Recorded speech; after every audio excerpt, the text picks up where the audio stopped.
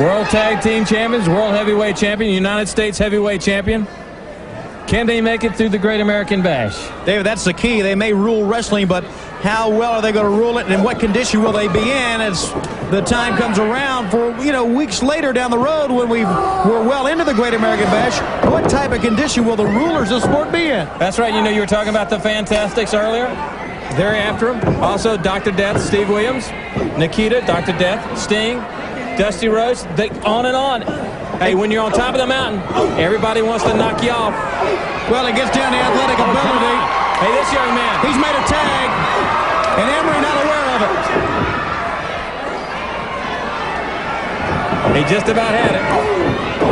Good move.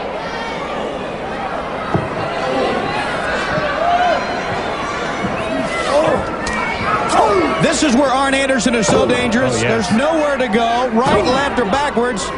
There's a rope straight, straight ahead. You got the enforcer.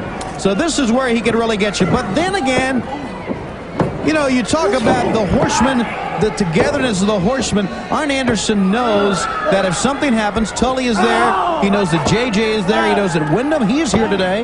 Ric Flair is here. So it's the confidence that the horsemen have. But Tony, but think about some of these matches. The War Games. JJ might be outside, but he can't. He's not in that match, right? Jim Ross, listen, he's got some information on the Great American Bash. Let's go to him.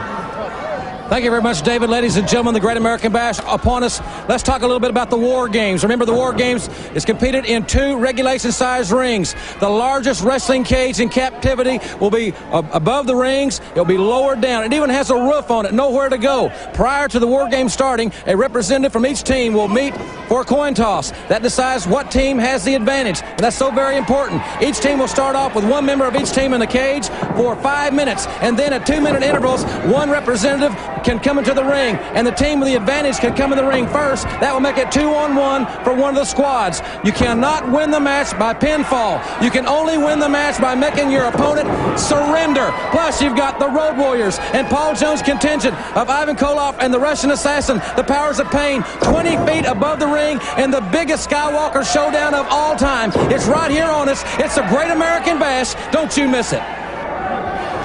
All right, that's right. The Great American Bash, America's number one sporting event. Entertainment for the whole family. Look at that move. How many times do you see that? It just shows what type of versatile athlete Tully Blanchard is with that drop kick.